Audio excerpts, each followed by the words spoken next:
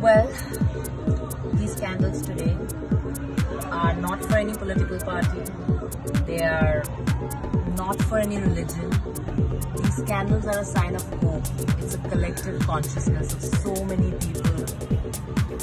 We have such a beautiful country and we have such a large population and if all come together and they give out only one feeling all the time that is you know they want life to be simple again. I think it will happen.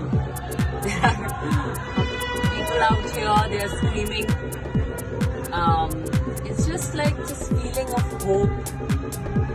And i don't know it's just beautiful. I i think these things really bring people together.